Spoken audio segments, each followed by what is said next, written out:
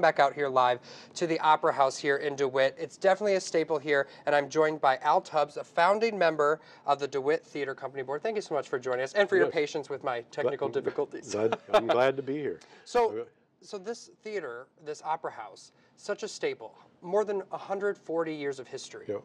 Tell us about it. Well, it was built in 1878, and it was built for originally vaudeville shows and, and so forth.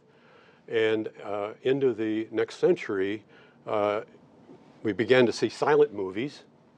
And then in the early 30s, it began to have movies with sound. And so at some point in the 30s, uh, it became the Majestic Theater because it was more for, for motion pictures. Uh, and it lasted that way for th- three or four generations, or three or four decades, I Yeah. should say. And, uh, and it fell into disrepair. And it's such disrepair uh, that it wasn't patronized and, and it wasn't working.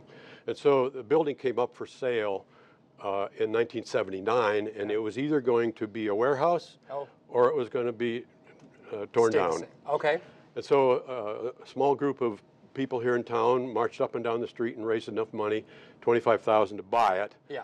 Uh, and uh, we had no, we had found it structurally sound, but we had no architectural plans. And so the community came together. Uh, we had a lot of help from our local contractors, uh, and we, we, we restored, uh, we, we renovated, I Yeah. should say, and not restored, because restoration was unaffordable to us at Right. that time. What do you think that says about the community that they they saw this landmark and they decided, you know what, we're not gonna we're not gonna let this go away. I mean, right outside the theater walls, there's lists of names and businesses that contributed. What does that say about DeWitt? Well, the community really came together uh, in the early 80s because here we had this thing and we wanted to uh, renovate it and make it useful to the community because it has been a focal point of the community. It's been a destination spot. Uh, and so the community rallied around it, and we were just going into the farm crisis years. And it really helped pull the community back together uh, during those farm crisis years because our Main Street did a major turnover during those years, but the theater, again, was a draw. Yeah. And so it was something everybody could rally around, and the community did a great job of supporting it. Such a hard time for so many people flocking here, which is Yes. amazing.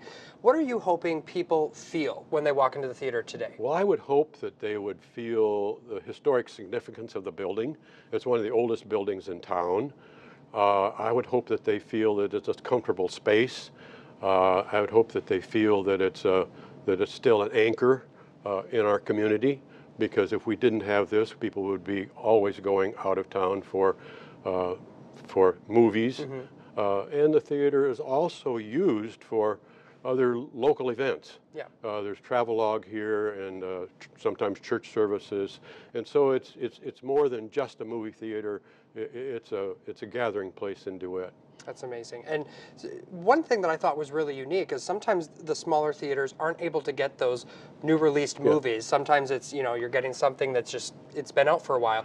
But you guys don't have that. You're airing Little Mermaid. Right? We have been blessed with having operators here that have connections and are able to get those first run movies. And, and saying that, I have to mention the Pritchard family. Uh, the Pritchard family began to manage the, the, uh, the theater part of it, uh, the movie theater part of it in 1985. And they were here for 35 years, and so it's just been recently that we have a, a new group of managers. But the Pritchard family did a wonderful job and made it be what, what we all dreamed that, that it could be.